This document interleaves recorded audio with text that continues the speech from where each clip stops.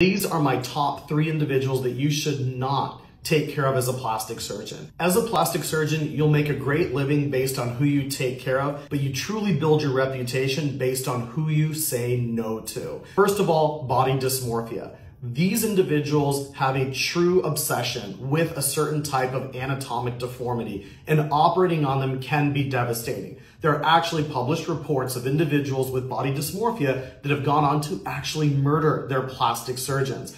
They have an imperceptible to the outside world issue or obsession with something that only they can see. Sifting through that is super important. The next type are a cluster of different personality disorders of narcissistic personality disorder, histrionic personality disorder. These are just a couple of the types of personality disorders that can be a major red flag. They exist in the psychiatric literature and in plastic surgery practices can make up up to 25 to 40% of the people that present to the practice. Yet they only make up less than 1% of the general population. So there's something about these personality disorders that seek out aesthetic treatments or cosmetic surgery. Finally, individuals that have unreasonable expectations. It's one thing to be inspired by your favorite celebrity's jawline or nose or chiseled abs, but it's another thing to have that photo and say, this is what I need to look like.